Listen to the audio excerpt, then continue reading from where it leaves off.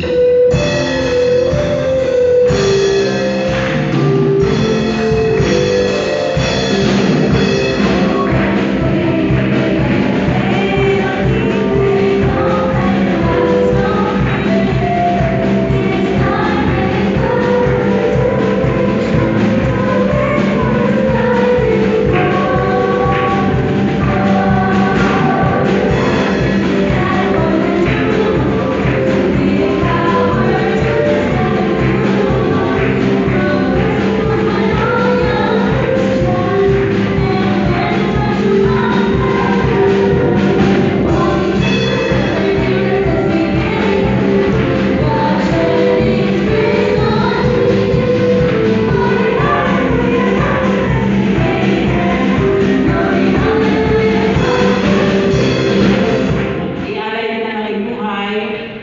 para paglingkuran din ang Panginoon.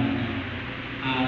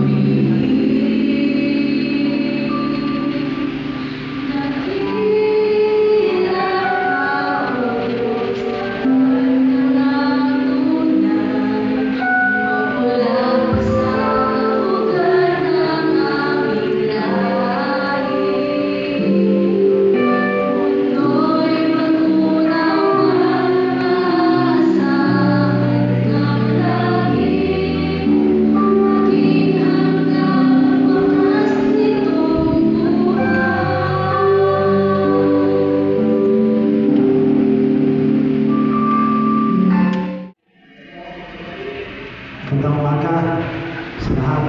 Pwede ba natin itayo sa ating upuan? Pwede ba dito lahat ng councilor, staff, officer, at doon ay para makita natin ang ano. Take ah.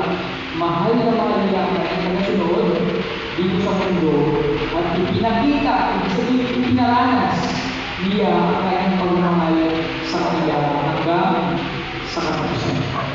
Kasunod ang pinangasa ng tuwalan na nagbibigis sa kanya. Paglapit niya kay Simon Pedro, sinabi nito, Panginoon, huhugasan niyo po ba ang aking mga paa?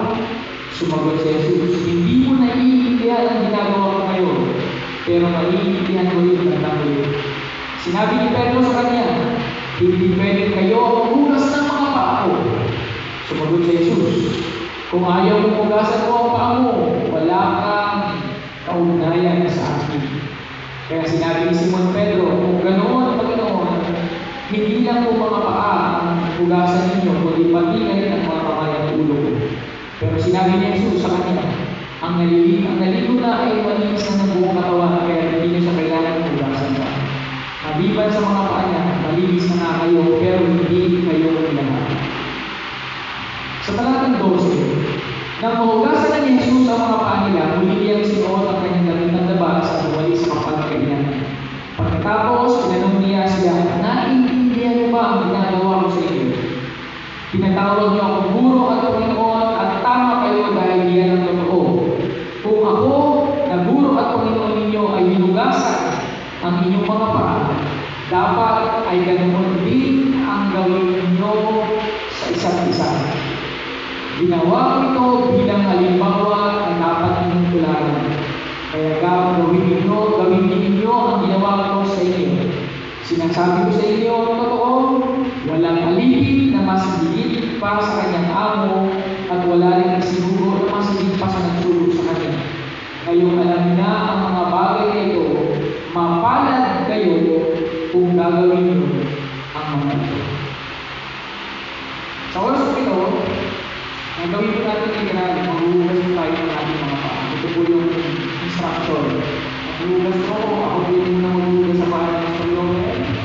Solome, susunod po niya na kami na, and susunod po tayo. Pwede po yung mga paa na tayo, pasok tayo. Ang mga kasama ko sa camp, yung mga kapagsipagitan ko sa camp, kasama ko kayo dito. Experience natin itong servanthood ng Panginoon.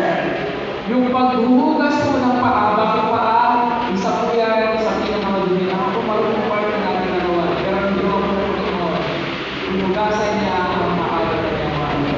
Ngayon, ang galing sa atin, dahil ang tawag sa atin ay servant, try hugasan ang paa ng ating mga kapwa ni Kristo. Dito po sa mga babae ng walang kasunod. Kahit si si Madam Mary. Tapos lilipat tayo, gusto tayo